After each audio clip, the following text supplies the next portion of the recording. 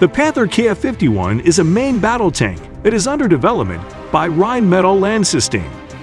It was unveiled publicly at the Eurosatory Defense Exhibition on 13 June 2022. The KF-51 is currently based on the hull of the Legacy Leopard 2A4, but the design is intended to mark a departure from the preceding generation of Western MBTs by introducing a new turret armed with an auto-loaded 130mm main gun, reducing weight through greater reliance on active rather than passive protection, and facilitating teaming with uncrewed platforms by providing space inside the hull for a dedicated systems operator or unit commander. The KF-51 Panther is stated to have three layers of protection – passive, reactive, and active. The innermost layer consists of all welded steel armor, covered by passive armor modules.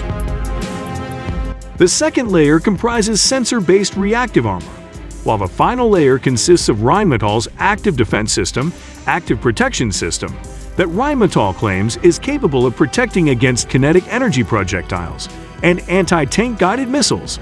It is possible to mount the ADS on both the hull and the turret.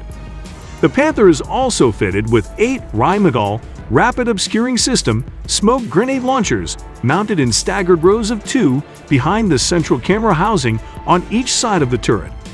It is also possible to integrate sensors into the Panther that can detect the launch signature of ATGMs and unguided anti-tank rockets before cueing the vehicle's crew towards the threat or launching appropriate countermeasures. The Panther can also be fitted with Rheinmetall's top attack protection system.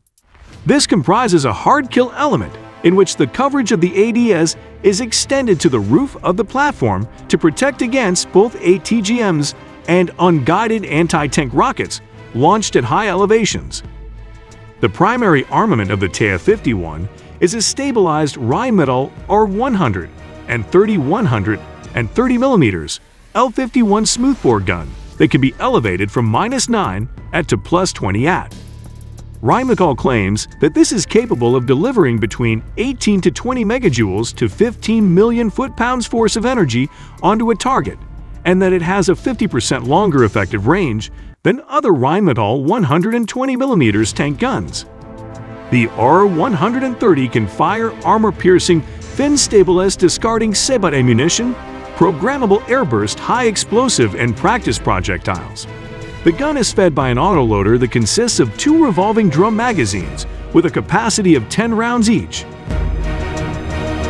The RO-130, mounted on a test rig, was able to fire 3 rounds in 16 seconds, though this included the time to perform safety checks.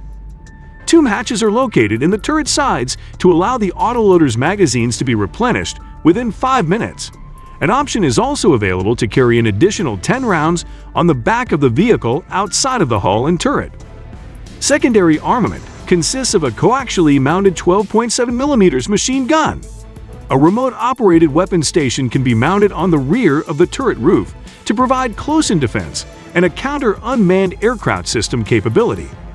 An option for this is the Rheinmetall Natter, which can be armed with a 7.62mm MG that can be elevated from minus 15 at to plus 85 at. When armed with a 7.62mm MG, it carries 2,500 ready rounds. In addition, the KF-51 can be equipped with the Hero 120 loitering munition system.